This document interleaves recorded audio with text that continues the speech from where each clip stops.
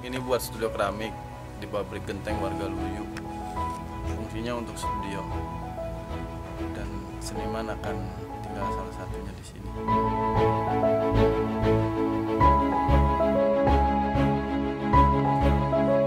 Jadi seniman yang datang nanti dibagi per grup. Nah,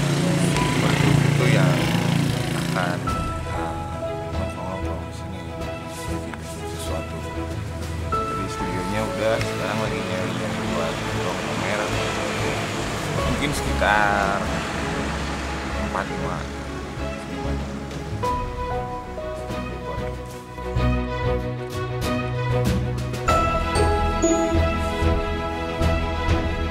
mes yang disediakan sama eh, warga Luyu pabrik genteng warga Luyu.